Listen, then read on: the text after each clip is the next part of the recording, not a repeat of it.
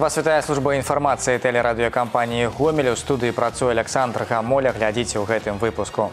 Планы складзены сёння ў гомелі прайшла гарадская канферэнцыя настаўнікаў. У школу з добрым настроем у рэгіёне працягваецца дабрачынная акцыя збяром партфель першакласніку. Аўтасервіс, праграмнае забеспячэнне інфармацыйных тэхналогій і педагогіка. Такія спецыяльнасці сталі самымі запатрабаванымі ў гомельскіх каледжах. А зараз аб гэтым і іншым больш падрабязна. Гатоўнасць установ адукацыі задачах галіны на новы навучальны год. Сёння ў гомлі прайшла гарадская канферэнцыя настаўнікаў. Зробленым у падрыхтоўчы перыяд яны могуць ганарыцца. Усе школы гатовыя да пачатку заняткаў. Працяг тэмы далей у сюжэце. 27-я гомельская школа – установа не зусім звычайная. Пабудаваная ў 1936 годзе, яна называлася сталінскай і была своеасаблівым сімвалам дасягненняў Савецкага Саюза ў гуманітарнай сферы. Той статус застаўся ў мінулым, але школа і зараз з'яўляецца прыкладам для іншых. Да пачатку новага навучальнага года тут не толькі правялі касметычны рамонт класаў, але і рэалізавалі планы, аб якіх даўно марылі. Накшталт установкі сістэмы апавяшэння пажары. Пры гэтым больш як 60% укладзеных сродкаў бюджет бюджэтная падтрымка. Астатняе ахвяраванне бацькоў і спонсараў. Апрача таго, у бліжэйшы час будзе набытае абсталяванне для харчблоку. Крыніца фінансавання сродкі за перамогу ў абласным конкурсе сярэдніх школ па выніках папярэдняга навучальнага года. Лепшая установа адукацыі рэгіёна гэтым статусам сапраўды можна ганарыцца. Один из профилей нашей школы – это информатика и программирование. И вот из призовых дипломов на области у нас их 55, 45 – это дипломы по информатике. Есть дипломы по физике, по химии, по биологии. Есть дипломы на конкурсе английского языка «Искусство говорить» и на конкурсе «Поиск». Но самое ценное для нас, конечно, это информатика и программирование.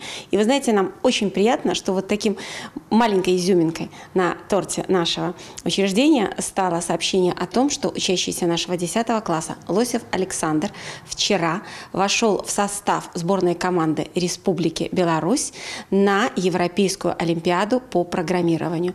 Из Республики Беларусь на Европейскую Олимпиаду поедет четыре учащихся из города Гомеля, их только два, и в составе наш ученик.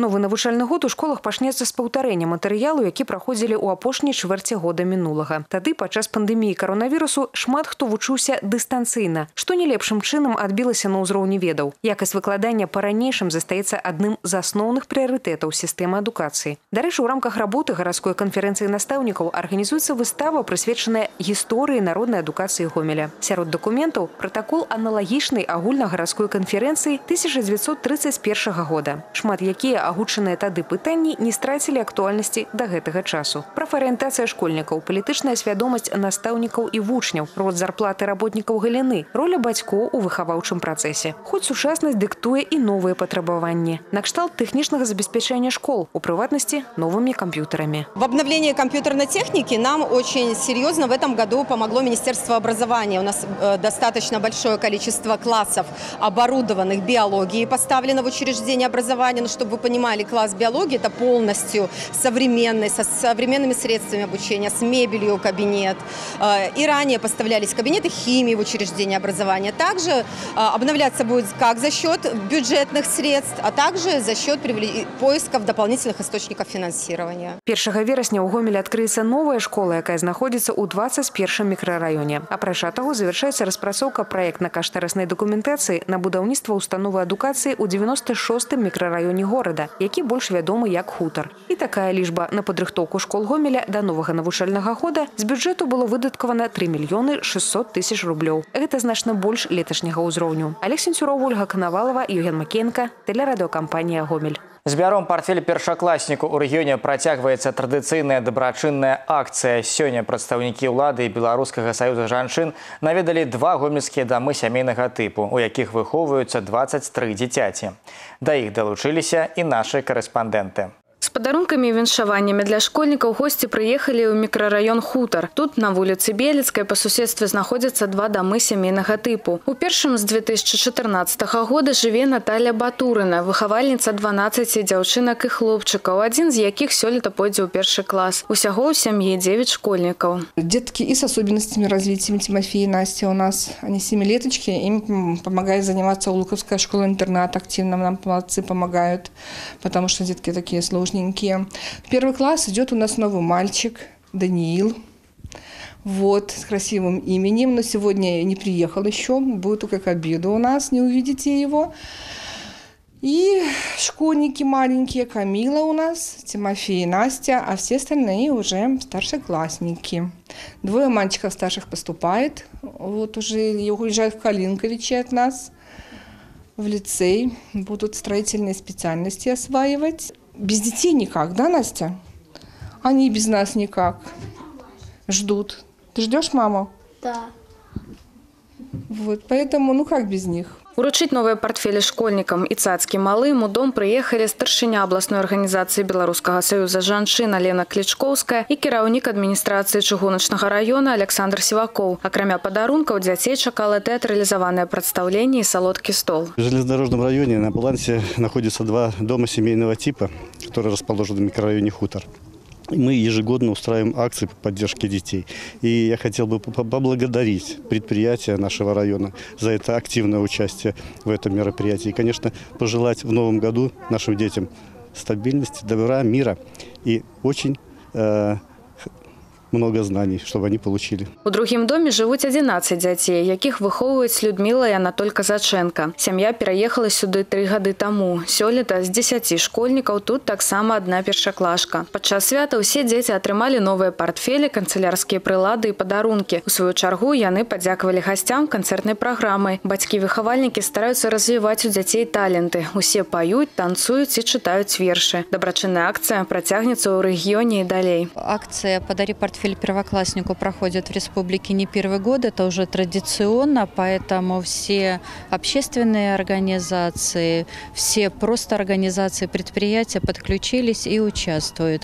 Мы стараемся э, уделить внимание каждому первокласснику, каждому ребенку, сделать так, чтобы 1 сентября действительно был праздником, днем знаний, и дети с удовольствием, с радостью ждали этот долгожданный день и с удовольствием шли в школу э, на встречу со своими учителями. Удзельнікі дабрачыннай акцыі збяром партфель першакласніку штогод аказваюць дапамогу будучым школьнікам, якія пражываюць у шматдзетных і няпоўных сем'ях, а таксама дзецям-сіротам. Сёлета толькі беларускі саюз жанчын уручыць больш за 150 партфеляў ва ўсіх раёнах вобласці. Ганна Кральчук і Гармарышчынка, тэлерадыёкампанія Гомель.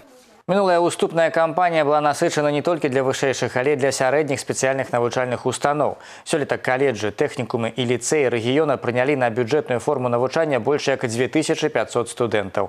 Для кагосьці з іх гэта этап на шляху да вышэйшай адукацыі, для іншых магчымасць хутка асвоіць спецыяльнасць. Аб выніках уступнай кампаніі ў самых запатрабаваных гомельскіх каледжах Наступны сюжет. Гомельскі аўтамеханічны каледж узнік у 2017 годзе пасля аб'яднання каледжа машынабудавання і політэхнічнага ліцэя. Таму ён малады толькі юрыдычна, бо аб'яднаў шляхі дзвюх устаноў з даўняй гісторыі. Самая папулярная спецыяльнасць каледжа аўтасервіс. Не толькі сёлета, але і ў мінулыя гады. Абітурыенты разумеюць, яна перспектыўная і ніколі не пакіне выпускніка без працы. Набор на яе, як і на іншыя напрамкі, праходзіў на конкурснай аснове. Наши выпускники по всем специальностям всегда 100% трудоустроены. Все предприятия как города Гомеля, так и Республики Беларусь нуждаются в наших специалистах.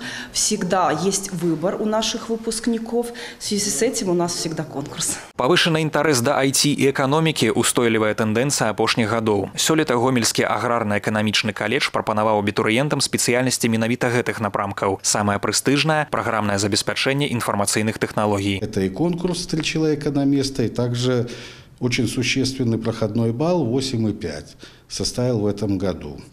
Так что, пользуясь, наверное, случаем, я для будущих абитуриентов хочу сказать, что, ребята, готовьтесь, подтягивайте оценки, и мы будем очень рады видеть вас в своем прекрасном учебном заведении. Для калектыву педагагічнага каледжа імя выгодскага вынікі уступнай кампаніі нагода для гордасці. Маштабны наплыў абітурыентаў сведчыць аб запатрабаванасці прафесіі настаўніка. Супрацоўнікі установы адзначаюць, гэта лепшы падарунак да надыходзячага 105годдзя каледжа. На ўсе формы навучання конкурс. Прахадныя балы высокія. Хотелось бы отметить, что все профессии, все профессии, это и дошкольное образование, и начальное образование, и музыкальное отделение были востребованы, я позволю себе сказать, даже не на 100, а на 150 процентов. Радует нас и то, что и среди целевиков также был довольно-таки очень приличный конкурс, который составил более двух человек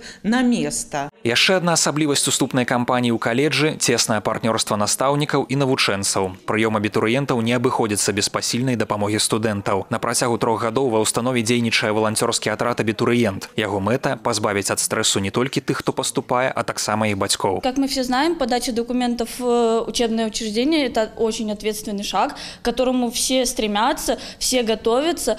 Наша задача была помочь абитуриентам, помочь родителям, настроить на положительную атмосферу, эм, ответить на все заданные вопросы. Не толькі IT і бізнес-напрамак цікавяць будучых студэнтаў. Моладзь упэўнена ў запатрабаванасці рабочых спецыяльнасцей, бачыць перспектывы ў сферы адукацыі. Шчыры інтарэс і захопленасць дапамогуць дасягнуць поспехаў у любой справе. Мікалай Скінціян, Валерый Гапанько, Ігор Марышченко, тэлерадыёкампанія Гомель. Вырашыць праблемы аператыўна і на месцы кіраўнік адміністрацыі Новабелецкага района Гомеля Сергей Казачок і дэпутат палаты прадстаўнікоў нацыянальнага сходу Беларусі Вольга Крэч правялі выязны прыём грамадзян уже ў нумар 5. Сустрэчу арганізавалі без папярэдняга запісу. Дастаткова проста прыйсці абмеркаваць прадстаўнікамі ўлады хвалюючае пытанне. Большасць варотаў праблемы жыллёва-камунальнай гаспадаркі, а таксама прапановы па добраўпарадкаванні двароў. У іх ліку стварэння ў новабеліцы пляцовак для выгулу сабак. Усе пытанні под контролем, некоторые из их будут вырашены на ближайшем тыдне. Есть проблемы э, на определенной территории, где лучше всего решать на месте. Есть еще один момент. Э, не все люди э, абсолютно передвижимы в пространстве. Кому-то очень сложно дойти. Вот сюда, например, прийти несложно, да? То есть, а уже доехать куда-то, даже пускай в пределах Белицы, это это тоже существует какая-то определенная проблема. Электронны кірмаш вакансій адбудзецца 28 жніўня для жыхароў жлобіна. Свабодныя працоўныя месцы прапануюць жлобінскі мясакамбінат і прадпрыемства жлобін металургбуд. Суіскальнікі з 10 до 12 гадзін змогуць задаць пытанні наймальнікам, атрымаць электронную кансультацыю, запрашэнне на гутарку ў рэжыме рэальнага часу. Для ўдзелу ў электронным кірмашы неабходна зайсці на інтэрнэт-пляцоўку і вакансі кропка бівай. Гэта і іншыя навіны інфармацыю аб праектах тэлерадыёкампаніі гомель вы можете знайсці на нашым сайце ў інтэрнэце па адрасе www.tvrгомел.by. На гэтым выпуск завершаны ўсяго добрага сачыце за эфірам. Эфир телеканала «Беларусь-4» продолжает де-факто. В студии Николай Скинтиян. Здравствуйте. Сорвал женщины золотой крестик и цепочку. В Гомеле милиционеры нашли грабителя по необычной примете – собаки преступника. Тот сорвал с шеи пенсионерки ювелирное украшение. Собачника искали несколько дней, проделав колоссальную работу по опросу возможных свидетелей, прохожих и местных владельцев питомцев. Потерпевшая заявила, что на улице Косарева вместе совершения преступления с нападавшим был лохматый пес, а остальные полезные приметы грабителя не запомнила. Но и этого правоохранителям хватило, чтобы установить личность нарушителя. Им оказался житель агрогородка Урицкая. На его розыск у сотрудников ушло 15 дней. 25 августа мужчина засветился на записи видеокамеры одного из продовольственных магазинов. Золотые изделия он успел реализовать неизвестному лицу. Возбуждено уголовное дело. Еще одного грабителя гомельские милиционеры задержали, зная только его кличку. Мужчина открыто похитил музыкальную колонку из рук знакомой, которую встретил возле кинотеатра «Октябрь» в областном центре. До криминальных событий между ними состоялась приятная встреча. Давние знакомые выпили, но не смогли определиться, за чей счет будет продолжение банкета. Мужчина предложил собеседнице профинансировать покупку новой бутылки спиртного и закуски. А та сказала, что не способна взять эти расходы на себя. Тогда мужчина стал бесцеремонно рыскать в ее дамской сумке и, не найдя там денег, забрал музыкальную колонку. Женщина не смогла ему противостоять, но сразу после этого вызвала милицию. Однако дама не смогла назвать даже имени своего внезапного визави. Зато знала его кличку. Милиционерам этого хватило, чтобы найти преступника. Возбуждено уголовное дело. Инспекторы по делам несовершеннолетних проверили заброшенное здание и пустующие постройки в советском районе Гомеля. Цель инспекторов – минимизировать возможность проникновения на подобное рекламные объекты подростков. К сожалению, судя по оставленным банкам и бутылкам из-под пива, многих не останавливают ограждения. Во всех проверенных зданиях двери были закрытыми, но налицо недостатки в ограждении. Имеются проходы, а в некоторые здания можно попасть внутрь благодаря широким решеткам. Сотрудники районного отдела внутренних дел администрации Центрального района Гомеля ищут мужчину, пострадавшего в ходе конфликта. 3 августа примерно в 23.30 в ходе конфликта около остановки улицы Рогачевская неустановленному лицу были причинены телесные повреждения. Если вы владеете информацией о данном человеке или знаете иные обстоятельства совершения противоправного деяния, просьба сообщить об этом в Центральный РОВД города Гомеля по телефонам, указанным сейчас на экране. Это все новости на сегодня. Оставайтесь с нами и берегите себя. Благодарю за внимание. До свидания. На телеканале «Беларусь-4 Гомель» новости спорта. В студии Михаил Садовский. Здравствуйте. В Гомеле прошел второй этап Кубка Белорусской Федерации биатлона. Свои команды представили все области нашей страны, а также отдельно Минск и Новополоцк. Всего участвовали 130 спортсменов. Турнир проходит в четырех возрастных группах среди атлетов 2002-2009 годов рождения. По результатам второго этапа у представителей нашего региона 4 медали – золото, серебро и 2 бронзы. Награды Кубка получат биатлонисты, которые наберут больше всего баллов по итогам соревнований. Всего в четвертом сезоне Кубка Беларуси запланировано 6 этапов. Здесь, конечно, шикарные условия, лыжерольная трасса, то есть, ну, вообще, э, в мое время такого, наверное, не было. И э, здесь так э, как-то все так э, составлено, что э, приближенно, ближе даже к проведению этапа Кубка мира, наверное, потому что здесь флеш-интервью, э, чипы, и, ну и сама атмосфера, присутствие болельщиков, э, заполненные всегда трибуны. Ну, конечно, такая, э, я думаю, что мотивация для каждого спортсмена приехать сюда на этап – и проявить себя. В спортивном комплексе «Стайки» проходят национальные сборы, на которых дюдаисты готовятся к международным стартам. В состав команды вошли и представители нашей области. Ульяна Миненкова, Виктория Новикова, Егор Трухан и Сергей Короткевич. Завершится тренировочная программа 29 августа. В Гомеле завершилось открытое первенство по конному спорту. Лучшего определяли на площадках областного центра Олимпийского резерва по прикладным видам спорта. В турнире участвовали юниоры, молодежь и взрослые. В программе соревнований конкур и выездка. В преодолении препятствий спортсменам предложили два маршрута. В категории до 100 сантиметров призовые места заняли Дарья Рубаник, Наталья Денисенко и Ксения Болдуева. У них первое, второе и третье места соответственно. Категории до 80 сантиметров золото у Сергея Серикова, серебро у Натальи Денисенко и бронза у Алвина Гречуха. выездки в категории предварительный приз среди детей лидировали Илья Косенков, Ксения Шабалина и Виктория Сафронова. Среди юниоров Ксения Кравченко, Алина Преснякова и Елизавета Дорохина. В категории манежной езды командный приз первое место у Виктории Тельник, второе и третье у Екатерины Пресняковой. В выездке участвуют спортсмены юношеского возраста, которые будут участвовать в основном в Олимпийских днях молодежи. Сегодня стартовали Олимпийские дни молодежи Гомельской области по академической гребле. В турнире участвуют юноши и девушки 2003-2004 годов рождения. В областном центре собралось около 200 спортсменов. В Гомель приехали гребцы из Мозыря, Жлобина, Светлогорска и Рогачева. Завершится турнир 28 августа. По результатам этих соревнований будет сформирована сборная на республиканские Олимпийские дни молодежи. Соревнования достаточно знаковые для этого возраста. Это, будем говорить так, отбор здесь мы отбираемся на республику, а на республике идет э, первый, так сказать, отбор, стартовый отбор на следующий год на чемпионат мира и на чемпионат Европы среди юниоров. Вот, поэтому есть, э, конечно, и лидеры в команде, есть уже э, ряд спортсменов, которые целенаправленно к этому шли, и у них появилась возможность себя реализовать на данном первенстве. Отбор э, происходит очень просто. Четыре э, человека отбираются у мальчиков в одиночках. Они садятся в крупный экипаж потом. Э, две двойки безрульных у мальчиков. И точно так же отбираются у девочек. Четыре одиночницы и четыре распашницы. 30 августа на Беларусь-4 Гомель выйдет очередная программа «Больше, чем спорт». Главные герои выпуска – игроки гомельских регбийных клубов Seven Links и Кватра. Так ли травмоопасен регби, как о нем говорят, кто финансирует команды, где можно заняться этим видом спорта и нужны ли специальные площадки?